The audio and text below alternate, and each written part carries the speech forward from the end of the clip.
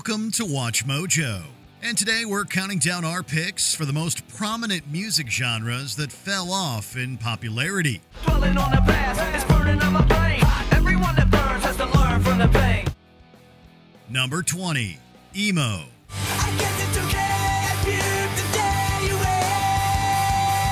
day you Emo was actually born in the mid 80s to hardcore punks interested in expanding the emotional range of their music. But the music of these early pioneers bears little resemblance to the music, fashion, and culture that took over mainstream America in the early 2000s. Going down, down, around, and Sugarwood going down, swinging. Emo arrived like some sort of immaculately coiffed Pied Piper, leading a generation of alienated kids off to the newly reinvented emo centric Vans Warped Tour. Parents were confused and concerned, but hey, Jimmy Eat World's Bleed American and Taking Back Sunday's Tell All Your Friends were damn catchy and relatable. By 2010, however, the scene was pretty much comatose, as the bands who made the genre popular had, for the most part, moved on to different sounds. So. Number 19, Gangsta Rap.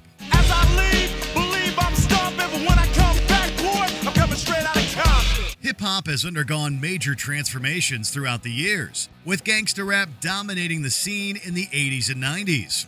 When you think of the West Coast sound, this is undoubtedly what springs to mind. Now let me welcome everybody to the Wild Wild West, a state that's untouchable like Eliot Ness. We're talking that signature orange glow, lyrics about urban life, and iconic artists like NWA, Tupac, and Snoop Dogg.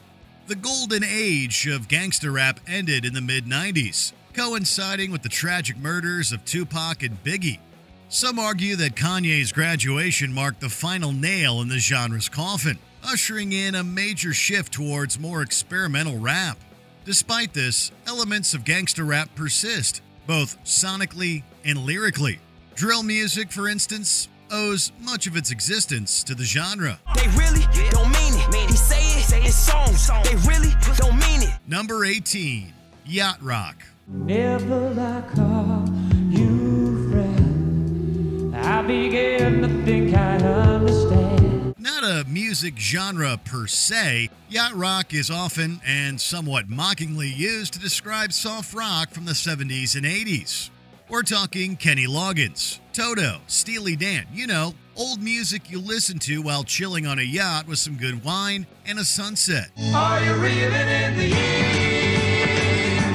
Storing away the time. The term didn't enter common parlance until 2005, when the online mockumentary of the same name became popular. Yacht rock has been endlessly criticized in recent years, whether it's the banal music, inoffensive lyrics, or even the sense of privilege that it arguably exudes. That said, its soothing tones often act as a needed balm in times of stress, so we can't argue if you throw on Africa every now and then. I guess the rain's down in Africa. Number 17, classical music.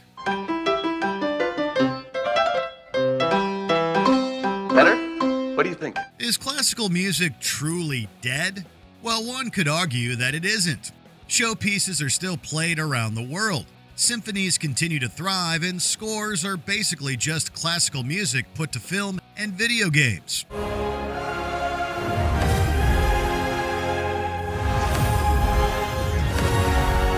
But let's be honest. When was the last time you heard about a hot new classical composer that's taking the world by storm? Can you even name a traditional composer of the 21st century? Look, we love rocking out to Tchaikovsky as much as the next person. But there's no denying that the most prominent figures in classical music all hail from centuries past. Beethoven's favorite works include Mozart's Requiem, Handel's Messiah, and Bon Jovi's Slippery When Wet. Number 16, Outlaw Country. But I shot a man in Reno just to watch him die. Back in the 50s and 60s, country music was clean and exceptionally produced, dominated by the poppy Nashville sound that was made to sell records. Enter artists like Johnny Cash, Willie Nelson, and Kris Kristofferson, who sought a grittier and more mature sound but faced constraints imposed by mainstream norms. Feeling good was easy, Lord, when Bobby sang the blues.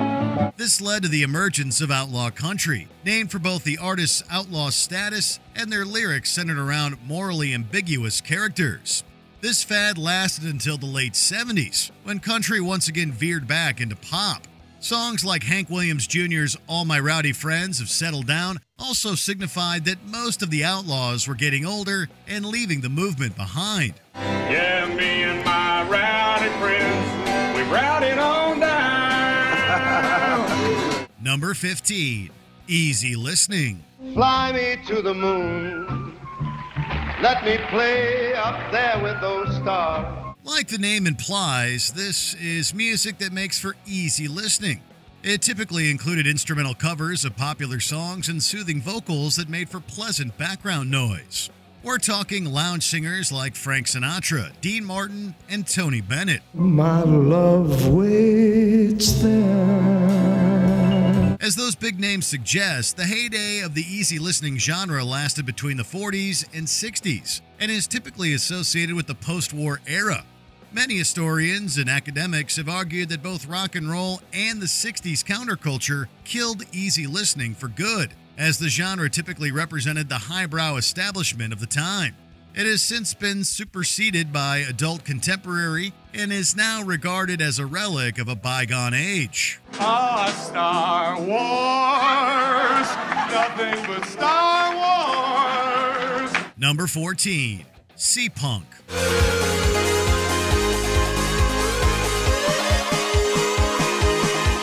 '90s nostalgia was already in full swing by the early 2010s. Enter Sea Punk, a Tumblr subculture that had a small presence in the Chicago nightclub scene. Seapunk blended various elements from popular 90s music, including pop, R&B, house, and southern hip hop. Wind it up.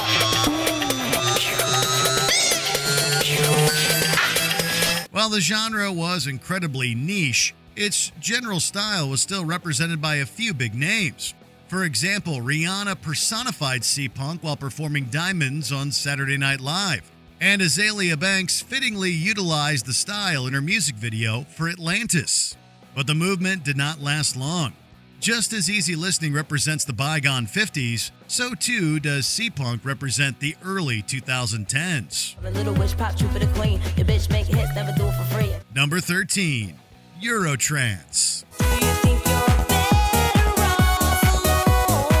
Trance music was all the rage in the late 80s and early 90s, originating in Frankfurt, Germany, and quickly spreading throughout Western Europe.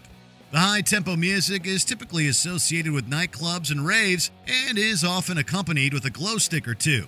Trance's popularity spawned a plethora of subgenres, including Eurotrance, which went on to dominate the late 90s. This was a combination of hard trance, a more aggressive and hardcore form of the music, and Eurodance.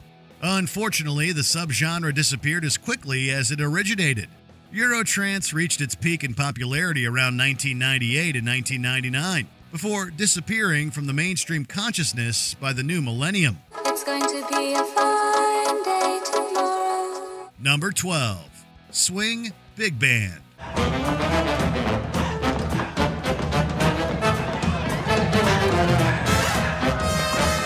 Nothing screams the 1930s quite like swing. It emerged in the early 30s and became a cultural phenomenon by the end of the decade. Led by artists like Count Basie, Duke Ellington, and Benny Goodman, the swing style of big bands was instrumental, no pun intended, in boosting morale during World War II and is closely linked to the tumultuous period.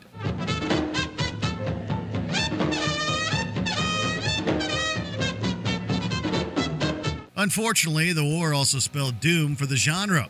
Brutal wartime conditions, financial disagreements, limited travel, military drafts, and ballooning budgets all contributed to the death of swing, and it fell out of favor by the late 40s. Unlike many genres, swing had a major cultural resurgence in the 1990s, but that too gradually waned. effectively rendering the genre dead. Go Daddy-O! Number 11, pub rock. So it goes, so it goes, so it goes, so it goes. Like outlaw country, pub rock was created as a reaction to mainstream sensibilities. By the mid 70s, rock had been taken over by lavish and often expensive productions like operas and progressive epics. Similarly, there was a major shift in style, with bands adopting increasingly elaborate and outlandish outfits.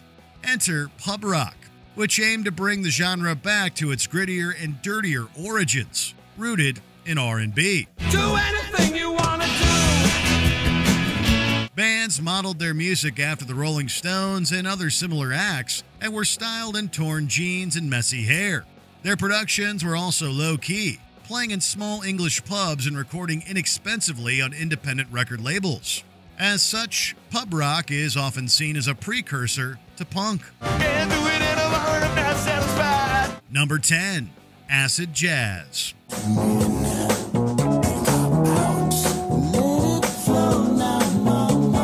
Another European club genre, acid jazz combined a little bit of everything disco, hip hop, jazz, and funk. Basically, DJs and groups took old music and put a modern spin on it, blending jazz with the acid house that was popular at the time. In fact, Q Magazine called acid jazz the most significant jazz form to emerge out of the British music scene. The genre originated in London in the 1980s and flourished throughout the decade, giving rise to bands like the Brand New Heavies and Jamiroquai. But like most popular club music, it was quickly overtaken by a new fad. EDM achieved mainstream popularity in the early 90s, introducing rave culture and throwing acid jazz from the public consciousness.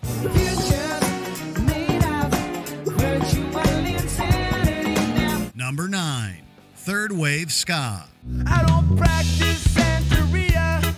I ain't got no crystal ball. You might not remember the genre by name, but unless you've been living in a bunker like Brendan Fraser's character in Blast from the Past, or you're some sort of recently discovered caveman like, well, Brendan Fraser in Encino Man, you've definitely heard it. Ska music has had three distinct phases of popularity. The first wave originated in Jamaica in the 50s, before giving way to a UK based second wave in the 1970s with groups like Madness and the Specials. The third wave was really an American phenomenon.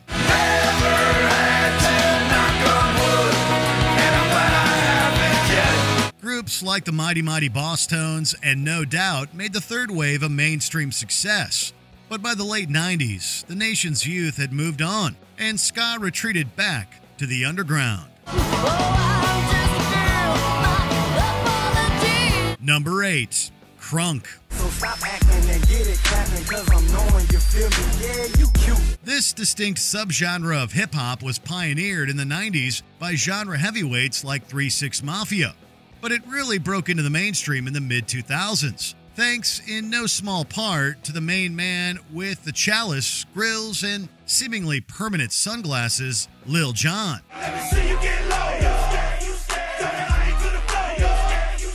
With such memorable hits as Get Low and Get Crunk, he took the essential characteristics of the genre high energy, bass heavy instrumentation, and shouted repetitive lyrics, polished them with some pop sensibilities, and successfully changed the club scene across the nation. Any music with that distinctive a sound can only hold out so long. And by 2009, the genre that began as crazy drunk had entered its hangover phase. Take that and rewind it back. Lil Jon got the beat to make your booty go. Number 7. Dubstep, Bro Step. How does it feel now to watch it burn, burn, burn? So, where did all the emo kids go? Some likely outgrew it, but others made a distinct genre transition alongside Sonny Moore, the one time frontman of influential Screamo group From First to Last.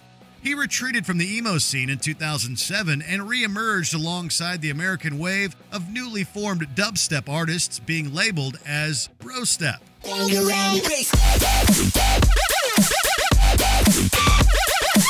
Second, perhaps only to emo, brostep is one of the most polarizing genres in recent music history. It won over hordes of die-hard fans seemingly overnight, yet simultaneously faced judgment, hatred, and criticism amongst longtime fans of the genre from overseas. Google Trends shows that dubstep peaked in public interest in 2011 and has since fallen to just a fraction of the attention it once commanded.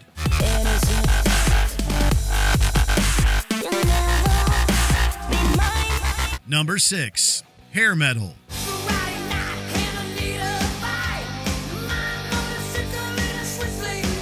Its distinct fashion sense, stadium ready music, and most importantly, copious amounts of hairspray, hair metal ruled the rock airwaves of the 80s. Bands like Motley Crue, Poison, and Guns N' Roses took their spectacle centric brand of metal, also known as glam metal, to arenas around the world.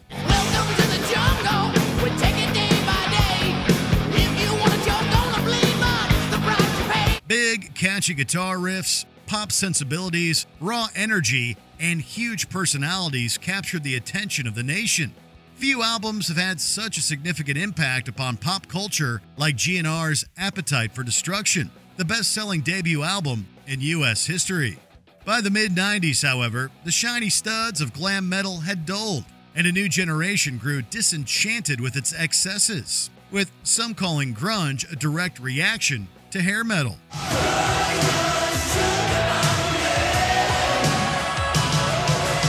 Number 5. Britpop. She came from Greece, she had a thirst for knowledge. Grunge was a response to hair metal, but as the new it genre, it inevitably sparked a counter movement of its own Britpop. If there's one thing that defined Britpop, it was a focus on British culture, a return to explicitly British subject matter, and a reverence for the British music that came before it.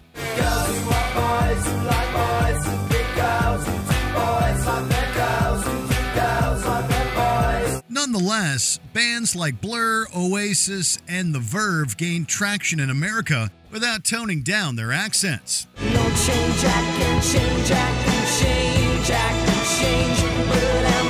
But sometimes the genre hits so hard and so fast, it can't help but implode shortly after impact.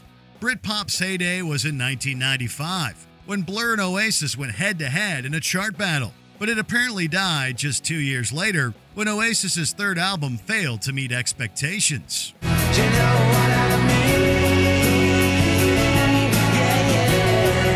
Number 4. New Wave. You may find yourself living in a shotgun shack. What is the exact definition of this genre? Well, there really isn't a good one. The term New Wave was first applied to groups in the 1970s, such as the New York Dolls and the Velvet Underground. These acts defied classification, blending elements of rock and punk music, with a spirit of experimentation exceeding the boundaries of either genre.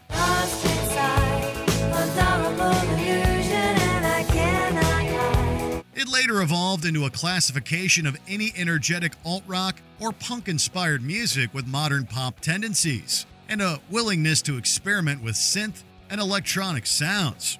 New wave music didn't die exactly. It's more that the term went out of vogue as bands developed their own more specific genres like post punk, power pop, synth pop, and many more. Shake it up. Shake it up. Number 3. Nu Metal. Even more so than emo music, nu metal had parents terrified and music critics ready to retire. What happens when new age metalheads appropriate rap culture and blend it with elements of electronica, hints of funk, and grunge, all packaged in pop music song structure? Well, you get extremely questionable fashion choices and a youth movement founded on nihilism, culminating in the disaster that was Woodstock 99. Even amongst bands classified under the genre, like Korn, the label is an unpopular one they would rather distance themselves from. Although there was a mild nostalgia fueled revival in the 2010s, the music under the nu metal banner had already fallen out of fashion by the early 2000s. Number 2 Grunge.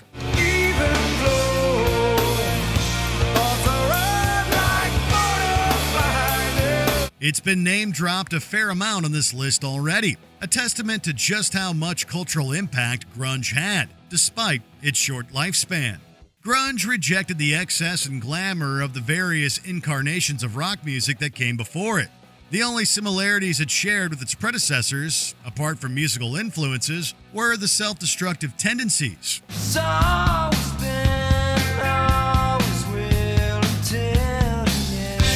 By the late 80s, bands like Mudhoney had brought some attention to the Seattle born music scene. However, it was groups like Soundgarden, Alice in Chains, and most notably Nirvana that made grunge huge.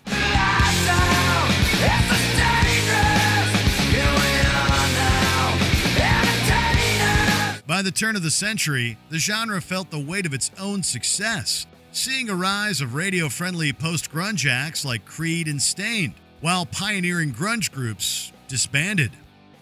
Before we continue, be sure to subscribe to our channel and ring the bell to get notified about our latest videos. You have the option to be notified for occasional videos or all of them. If you're on your phone, make sure you go into your settings and switch on notifications.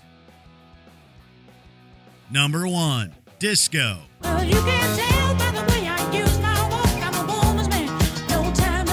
While the other genres on this list had periods of peak popularity followed by steep or steady declines, disco is the only one to have had a literal death date.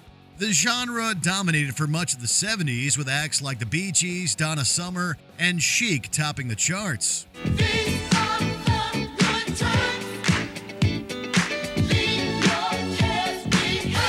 But with that popularity came the inevitable backlash. On July 12, 1979, Disco Demolition Night was held at Comiskey Park in Chicago. A crowd of 50,000 showed up to express their deep hatred for the genre. The motivation for this event has since been debated. However, later decades saw something of a disco revival, with artists like Kylie Minogue, Daft Punk, and Dua Lipa keeping the groove alive. Did you enjoy this video? Check out these other clips from Watch Mojo and be sure to subscribe and ring the bell to be notified about our latest videos.